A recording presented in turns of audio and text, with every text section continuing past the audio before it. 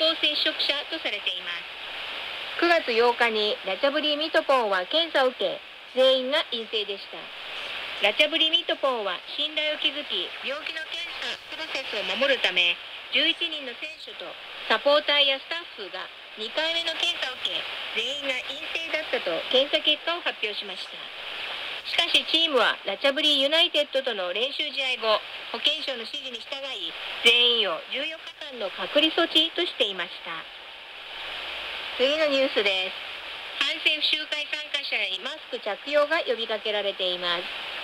国立玉沢大学で9月19日に反政府集会が予定されていることについてアヌティン副首相はこのほど集会に参加する学生には新型コロナウイルス感染を防止するためマスクを着用するよう求めたいと述べました。この集会に関が許可しませんでしたが集会主催者側は予定通りに開催する方針などと報じられています。アルティン副首相によりますとマスクをして面と向かってくしゃみをしなければ唾液の飛沫と感染を抑制することが可能になるとしています。警察関係者の話によりますと予定されている反政府集会が混乱につながることがないよう2つの警官隊を警備に当たらせる予定です。国立玉沢大学当局は同大学のタープラチャンキャンパスで19日に反政府集会を開くという申請があったがこれを許可しなかったと発表しています。玉沢大学ではこれまでにも何度か反政府集会が行われており大学当局は9月3日にキャンパス内での政治活動に関するガイドラインを打ち出しましたが大学側は19日の集会に関してはガイドラインに沿っていないとして開催を許可しなかったと説明しています。集会の主催者側は大学は国民のものであり集会は予定通りに行うとしています。次のニュースです。副首相が予算執行が遅れていることに言及しました。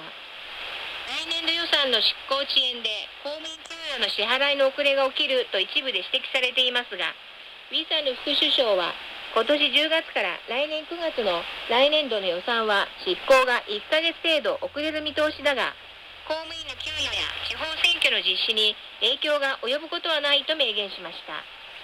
予算庁は来年度初日10月1日からの歳出3兆3000億バーツの来年度予算執行が遅れると発表しており、これに伴い影響を懸念する声が出ています。ウィサヌ副首相によりますと、今年度予算の残りを使うなどして、ある程度対処できる見通しとなっています。近年では国家予算執行が6ヶ月遅延したこともありますが、それに比べたら来年度予算の執行遅延の影響は大したことはないと語っています。一方、6月から7月の当選が前年比38%増えていたことが分かりました。サイアムコマーシャル銀行傘下の経済情報センターによりますと、倒産件数は今年6月と7月が前の年の同じ時期を38.4%上回りましたが、今年下半期にはさらに多くのビジネスが倒産する見通しとなっています。8月1日から18日の倒産件数は前の年の同じ時期を37.9%上回りましたが、1月1日から8月18日期の倒産件数は合計1万3400件となっています。倒産が目立った業種は、ホテルなどの観光関連ビジネス、テキスタイル、自動車関連などとなっています。次のニュースです。